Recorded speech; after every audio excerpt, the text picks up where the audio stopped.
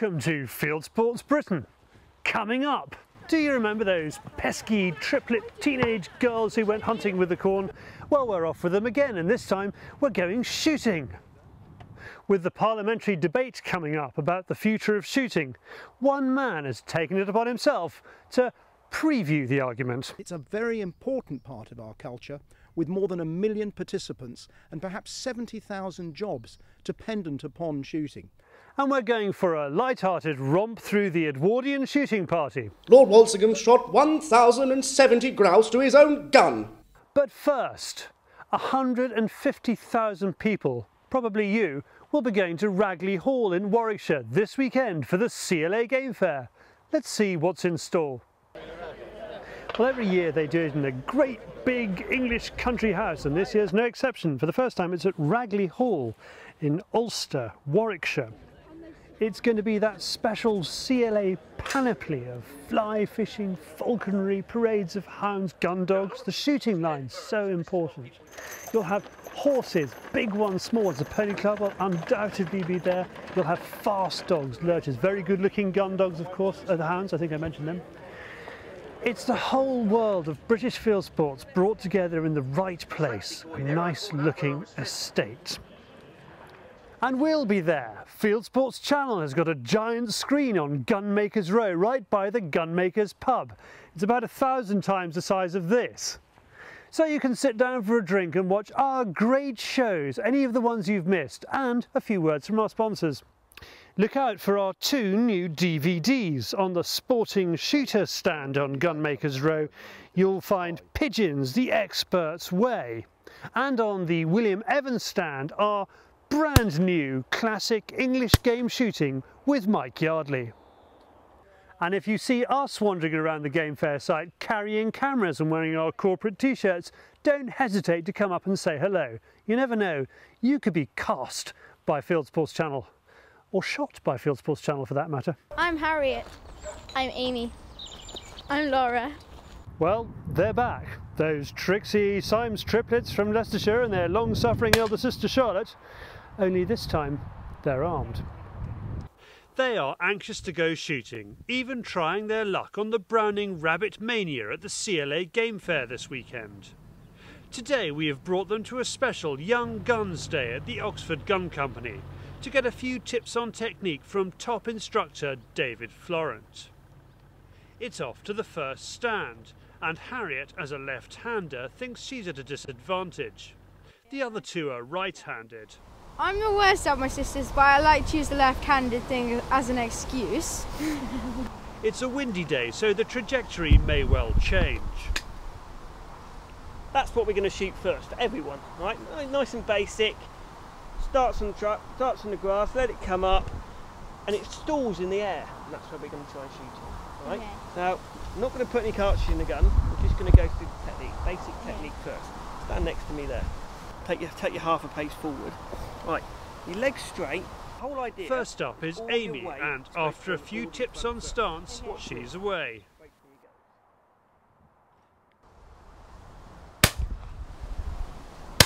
Well shot. Happy with that? Right, let's let somebody else have a go. Oh. Head on the wood, weight forward. Right, let me do the work. Don't fight me, alright? Next, okay. it's Laura, on target. Now. Happy with that? Yes. and then left-handed Harriet. Well done. Finally, it is older sister Charlotte, and there seems to be a problem with her choice of gun. David thinks it's too small for her. Can I make a suggestion? Time to make a change. Have a go.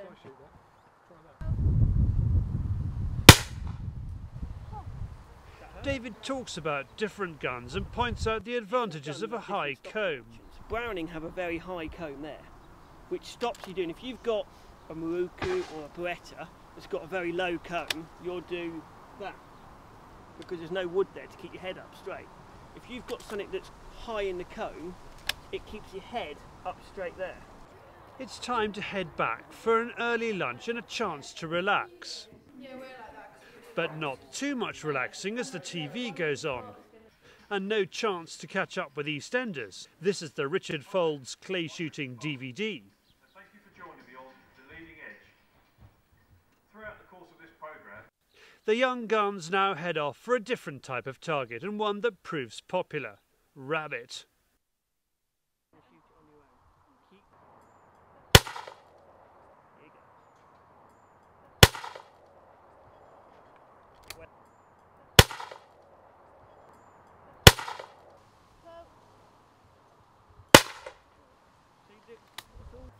So how do the triplets feel the day is going? Well, when the clay was coming across, I kind of put the gun down instead of putting it up. I think I've got a better technique now than I did when I first came. The best trap was the one we just did because I found it the easiest. Yes, well, I've learned how to stand properly now, and I find it easy to place my hands and when I put my cheekbone on the gun now. I've learnt really just how to do it properly because normally we just um, learn from my dad, um, but we've just learned more professionally really. Used to get quite scared about putting like my gun into my shoulder in case it hurt.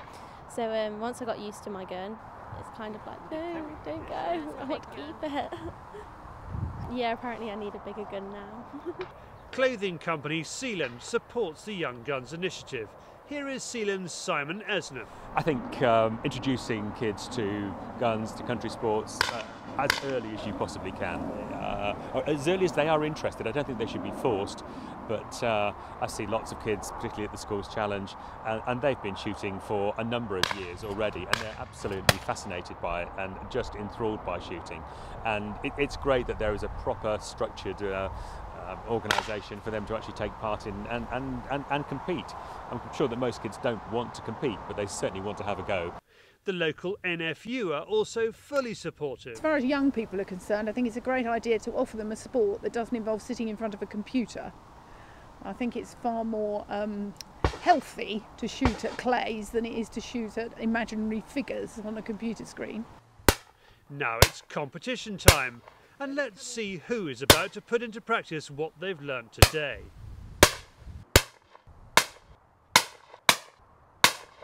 Back in the clubhouse, and it's time to announce the winner. Charlotte. Yes, it's Charlotte. The change of gun clearly worked. We had a competition on a going away bird and an incoming bird, and we got eight shots at each. Yeah, I shot with the um, big, the 12 this time round instead of my normal one. Our friends from the King's Ginger a super shoot snifter, have come up with this animated guide to driven game shooting. 1903. Britain has smashed the Impi, put down the Ashanti, and King Edward VII is on the throne. It is an age of excess. Formerly Bertie, Prince of Wales, along with Lord Walsingham, the Marquis of Ripon, and the Maharaja Duleep Singh, good afternoon, Bertie was one of the great shots of the day. Their records are remarkable. On the 30th of August, 1888, Lord Walsingham shot 1,070 grouse to his own gun. Now, all this shooting means lots of travel for the king between country houses and from then to his stands, often in the newfangled open top horseless carriages.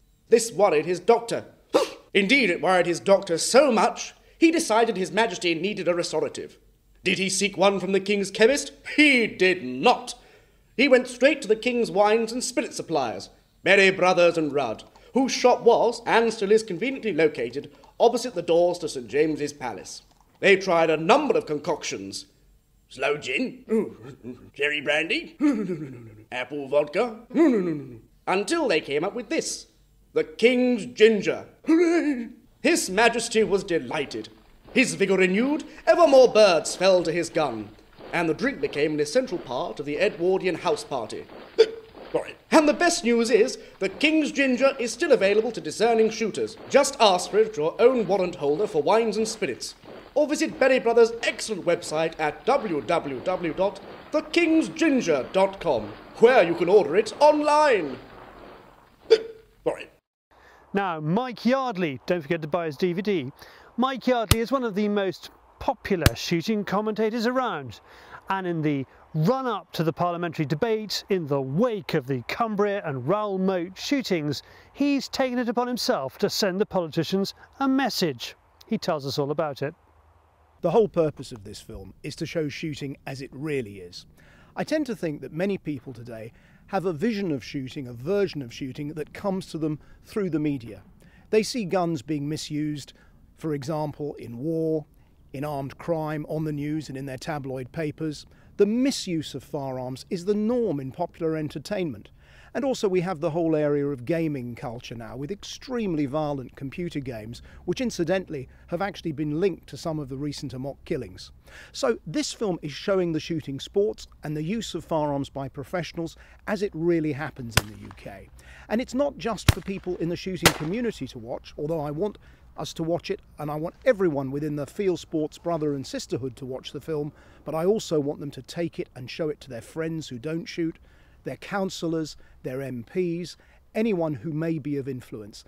The film shows, and I think the theme of it, is that for many of us, shooting is no more than golf with guns. It's a very challenging sport, a lot of fun, but it's something pursued by ordinary people. There are more than a million of us who shoot.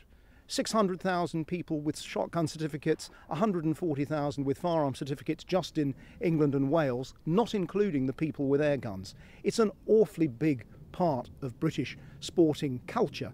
And I think what also is unclear to a lot of people is it's right up there with fishing, with golf, and other participatory sports. It's just a bit of a hidden sport. Whatever you do, you cannot prevent a mock killing by banning objects. And I think it is very important at this time that we don't see more knee jerk legislation. Happily, thus far, the response of media and politicians has been a lot more sensible, I think, than it was after Dunblane. And people do realise that knee jerk legislation, we've had the Dangerous Dogs Act, we've had firearms legislation banning certain classes of firearms, which produced no positive benefits whatsoever. And I think people do realise that that sort of legislation doesn't work. But they do have a right to explore the subject, and I hope this film will help them explore the subject. So I say to you, watch it, judge it for yourself. If you are a shooter or if you are in the field sports community, show it to your friends who don't shoot or are unfamiliar with this sort of stuff. Show it to people in positions of authority, your MP, local councillors, whoever might be interested in it. Because one thing I think we do have to do now, we have to realise that it's partly our fault that the public don't know more about what we do. We are actually a major part of British culture. Shooting sport has been going on in this country for probably the best part of 500 years. It's got a long and proud tradition. We've won a clutch of medals at the Olympics and in international competition. We've still got some of the best gun makers in the world.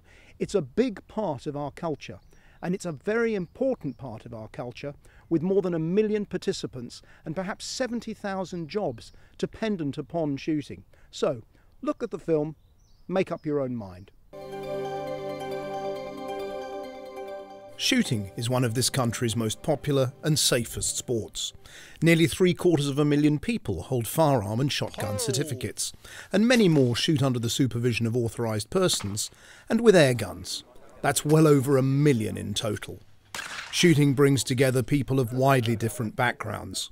It's a social sport in which men and women, young and old, able bodied and the disabled all take part on equal terms. It's a sport at which this country has a proud tradition. We excel in Olympic and other international competition. It's also a sport which helps drive the economy. Expenditure by participants amounts to more than £2 billion each year. Shooting supports the equivalent of 70,000 jobs, including some supreme British craftsmen who keep alive ancient artisan skills that would otherwise be lost and there are many publications and periodicals devoted to the subject of shooting. The sport takes many different forms clay shooting, game shooting, stalking and deer management, target rifle shooting, muzzle loading with black powder guns, and not least shooting with air guns. In addition to the sporting uses of firearms, the main subject of this film, Firearms are routinely used by a wide variety of professionals vets, farmers, gamekeepers, forest rangers, and pest controllers, for example. And we might also mention collectors and firearms historians, who've added to the corpus of knowledge and our national heritage whilst assembling and researching their collections. Shooting is a tightly regulated sport. There's been a requirement for a firearm certificate for rifles since 1920. Shotguns have been certificated by the police since 1967. Shooters take safety very seriously. Because they do, shooting's one of the safest sports in Britain. Even competitive athletics is more dangerous. Different shooting disciplines use different types of gun and have very different traditions. All share dedicated participants who regard shooting as an important and uniquely satisfying part of their life. Clay shooting has been popular in this country for more than a hundred years. It takes three basic forms trap shooting, where all targets are going away, skeet, where most targets are crossing, and sporting, where targets are thrown to simulate field conditions. The target itself is a pitched disc about four and a quarter inches wide, and the gun used is always some kind of shotgun. That is a smoothbore which fires a cartridge loaded with shot, usually about 300 small pellets, rather than a single bullet as fired through the spirally grooved barrel of a rifle. Game shooting, the sport of shooting birds flying, or on the wing as it used to be called, was first brought to this country by the courtiers of Charles II. It involves shotguns, and the quarry, typically pheasants, partridge, or grouse, may be driven to the guns by a team of beaters or walked up less formally. Some shooters devote themselves entirely to pigeon shooting, which is an important form of crop protection. Others devote themselves to wildfowling, conserving and harvesting ducks and geese on the foreshore or on flight ponds situated inland. Many of our foreshores are wardened by wildfowlers. All forms of game shooting involve conservation work. Indeed, shooting itself is a very small part of the whole, typically the final harvest at what may have been a year of very hard work. Game shooting in Britain helps to preserve the countryside, Without it, the country would be a much poorer place, with fewer woods, hedgerows, and songbirds.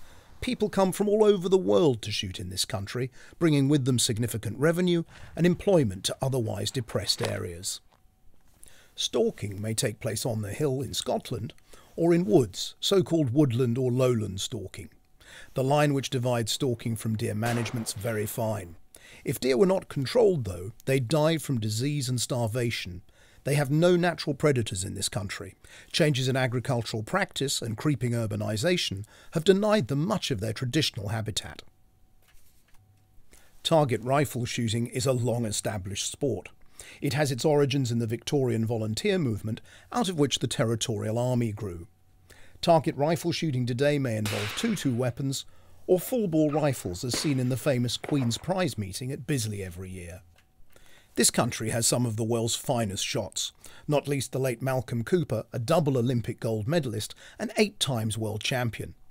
Then there's the inimitable George Digweed, 16 times world sporting champion, Richard Faulds, double trap champion at the Sydney Olympics, and the incredible Mick Gault, 15 Commonwealth gold medals. Muzzle loaders use black powder, shotguns, rifles, and pistols. The guns may be original or replicas. They might be matchlocks, wheel locks, flint and steel, or percussion cap. Muzzle loading is living history. It's great fun, but muzzle loading competitions taken very seriously indeed. Shooting with air guns is a vast sport. There's air rifle and pistol shooting as seen at the Olympics, field target shooting, and airgun hunting and pest control. Many just enjoy informal practice in their garden or field. It's an activity enjoyed by more than a million. Uh, what I find so encouraging about shooting is that women like me can compete on equal terms with men. Children can do it, old people can do it, fat people, thin people, disabled people compete on equal terms with able bodied people. You, you don't have to be special in order to shoot. Well, Great Britain is actually the best at it in the world. Great Britain's shooting team has won more gold medals than any athletic team in this country. Not many people realise that. We've done very well at, at clay shooting and uh, we're the best there is. Well, shooting is important to me because I enjoy the country life. I enjoy the day out with friends. I enjoy working the dogs. And in general, I just love the countryside and I think shooting is part of it. Yes. What I've do you been, think, Mick? I've been shooting since I was about nine or ten. Uh, my father taught me to shoot um, it's just fantastic coming out at the weekend after a stressful week in the office, 9 till 5, and um, just just having a wander around and seeing the countryside and being with good, good friends. It's a great day. Well, there you are. Shooting really is a sport for all. If you haven't tried it, I hope you may be tempted to have a go. If you're a shooter already, you may have discovered bits of your sport that you weren't even aware of. And one more thing, please try and show this film to anyone you know that doesn't shoot, that doesn't participate in our great tradition. Thanks very much. This has been Field Sports Britain. We're back next week with a fantastic Game Fair 2010 package. And if you're at the Game Fair on Saturday, come along at 11.30 to the Game Fair Theatre, where I'll be talking about angling with Bernard Cribbins. And if you're there on Friday night, pop over to the British Deer Society tent. Could be a good party.